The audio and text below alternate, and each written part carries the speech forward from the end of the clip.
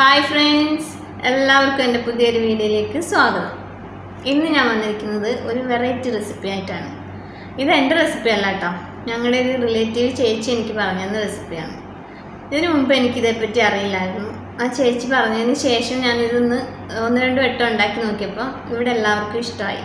അപ്പോൾ പിന്നെ വിചാരിച്ചു എങ്കിൽ പിന്നെ നിങ്ങളോടും കൂടി ഒന്ന് ഷെയർ ചെയ്യാമോ ഒരു പക്ഷേ നിങ്ങളിൽ ആർക്കെങ്കിലുമൊക്കെ അറിയുന്ന റെസിപ്പി തന്നെ ആയിരിക്കും.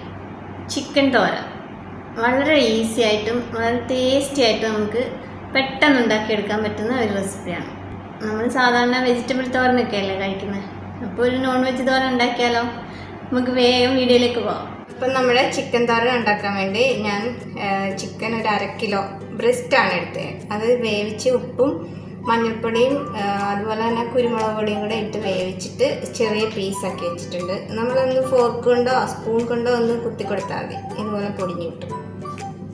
അങ്ങനെ ഞാൻ എല്ലാം വേവിച്ച് നന്നായിട്ട് വേവിച്ച് റെഡിയാക്കി വെച്ചിട്ടുണ്ട്. ഇനി നമുക്ക് നമ്മുടെ ചിക്കൻ തോരൻ ഉണ്ടാക്കാൻ തുടങ്ങാം. അപ്പോൾ അതിനുവേണ്ടി ഞാനൊരു ചട്ടിയാണ് എടുത്തിരിക്കുന്നത്. അപ്പോൾ അതിലേക്ക് നമുക്ക് കുറച്ച് വെളിച്ചെണ്ണ ഒഴിച്ചു കൊടുക്കാം. അപ്പോൾ നമ്മുടെ വെളിച്ചെണ്ണ ചൂടായിട്ടുണ്ട്. ഇതിലേക്ക് ഞാനൊരു മീഡിയം സൈസ് സവാള ചെറുതായിട്ട് അരിഞ്ഞതുണ്ട്.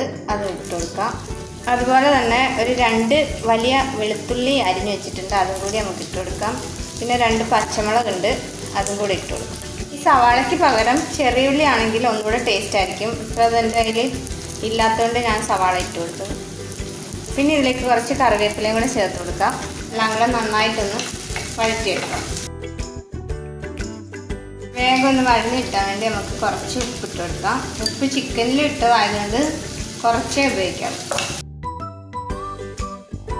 നമ്മുടെ സവാളയൊക്കെ നന്നായിട്ടൊന്ന് വഴണ്ടിട്ടുണ്ട് ഇതിലേക്ക് ഇനി ഞാൻ ഒരു സ്പൂൺ മുളക് പൊടി ഇട്ട് കൊടുക്കുന്നുണ്ട്. അതിന്റെയും കൂടെ നമുക്ക് പച്ചമണം ഒന്ന് മാറ്റിയെടുക്കാം. അപ്പം മുളക് പൊടിയുടെ പച്ചമണമൊക്കെ ഒന്ന് മാറി. അപ്പോൾ ഇതിലേക്ക് നമ്മൾ വേവിച്ച് വെച്ചിരിക്കുന്ന ചിക്കന്റെ പീസ് ഇട്ട് കൊടുക്കാം. ചിക്കൻ പൊടിച്ച് വെച്ചിരിക്കുകയാണ്. ഇതിപ്പോൾ ഞാൻ ബ്രസ്റ്റാണ് എടുത്തത്.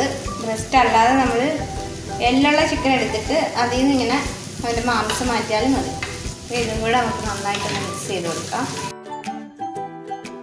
അപ്പം നമ്മുടെ ചിക്കൻ ഈ മസാലകളിലൊക്കെ ഒന്ന് നന്നായിട്ട് പിടിച്ച് മിക്സായിട്ട് വന്നിട്ടുണ്ട്. ഇതിൽ വലിയ പീസൊക്കെ ഉണ്ടെങ്കിൽ നമുക്കിങ്ങനെ ഇതുകൊണ്ട് ഇങ്ങനെ കുത്തി കൊടുക്കുമ്പോൾ അത് ചെറു പൊടിഞ്ഞു വന്നു ഇനി ഇതിലേക്ക് ഞാനൊരു അഞ്ച് സ്പൂൺ തേങ്ങ ചതച്ചെടുത്തിട്ടുണ്ട്. അത് നമുക്ക് ഇട്ട് കൊടുക്കാം. അതും കൂടി ഒന്ന് മിക്സ് ചെയ്യാം. തേങ്ങയും കൂടി ഒന്ന് മിക്സ് ചെയ്ത് കൊടുത്തിട്ടുണ്ട്. ഇനി ഇത് നമുക്കൊന്ന് അടച്ചു വെച്ച് ഒരു എട്ട് പത്ത് മിനിറ്റോളം ചെറിയ തീയിലൊന്ന് ആവി കയറ്റിയെടുക്കാം. ഇപ്പോൾ ഒരു എട്ട് പത്ത് മിനിറ്റ് ആയിട്ടുണ്ട്. നമുക്ക് തുറന്നു നോക്കാം. നന്നായിട്ട് ആവിയൊക്കെ കയറിയിട്ടുണ്ട് തേങ്ങയൊക്കെ വെന്തിട്ടുണ്ട്.